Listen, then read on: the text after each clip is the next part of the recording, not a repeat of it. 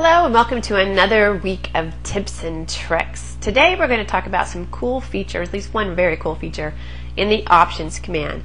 So very simply I'm going to do a right click, go into options, or of course you know you can type in an OP, and I'm going to go to the user preferences tab to show you this one very cool feature.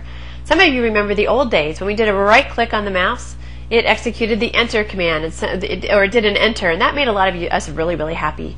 And then we changed it right? It changed so that a right click did a right click shortcut menu. Well now you can have the best of both worlds. Check this out.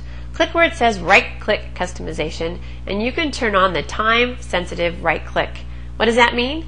Now if you just do a quick right click it's going to execute an enter if you hold the right mouse button down just a little bit longer, you're going to get the shortcut menus. That allows you to have the best of both worlds. And we all love that, don't we? So I'm going to keep it that way. And just a couple of other things on here. I'm a big fan of the new dimension, making the dimensions associative. Make sure that you have that turned on. And in the lower right hand corner, there's an option that allows you to combine the zoom and pan commands for, for undo purposes definitely want to make sure that's selected so that when you do an undo, it doesn't undo just one little tiny click of the mouse wheel, it undoes the entire zoom operation.